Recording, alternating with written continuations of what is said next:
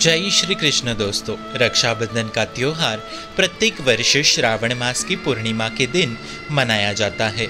इसलिए इसे राखी पूर्णिमा के नाम से भी जाना जाता है। यह पर्व भाई बहन का प्रेम का उत्सव है। इस दिन बहनें भाइयों की समृद्धि के लिए उनकी कलाई पर रंग बिरंगी राखियाँ बांधती है। वही भाई बहनों को उनकी रक्षा का वचन देते हैं। यह सबसे बड़े हिंदू त्योहारों में से एक है। आइए जानते हैं कि इस साल भाई बहन की कलाई पर राखी बांधने का क्या शुभ मुहूर्त है।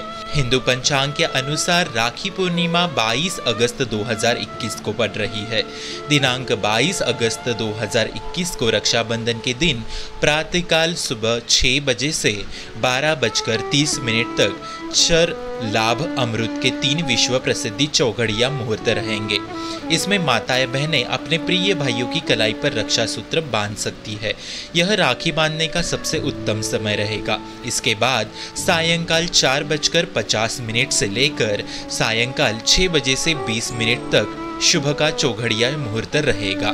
रक्षाबंधन का पर्व श्रावण मास में उस दिन मनाया जाता है, जिस दिन पूर्णिमा अपराह काल में पड़ रही हो। हालाँकि आगे दिए गए इन नियमों को भी ध्यान में रखना आवश्यक है। यदि पूर्णिमा के दौरान अपराह काल में भद्रा हो तो रक्षाबंधन नहीं मनाना चाहिए। ऐसे में यदि पूर्णिमा अगले दिन की शुरुआती तीन मुहूर्त में हो तो पर्व के सारे विधि विधान अगले दिन के अपराह काल में करने चाहिए।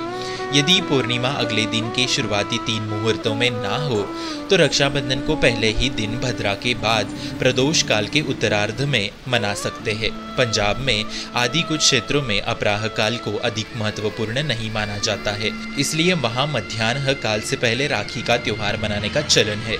लेकिन शास्त्रों के अनुसार भद्रा होने पर रक्षाबंधन मनाने का पूरी तरह से निषेध है। चाहे कोई भी स्थिति क्यों ना हो, रक्षाबंधन के दिन बहनें भाइयों की कलाई पर रक्षा सूत्र या राखी बांधती है। साथ ही वे भाइयों की दीर्घायु, समृद्धि व खुशी आदि की कामना करती है।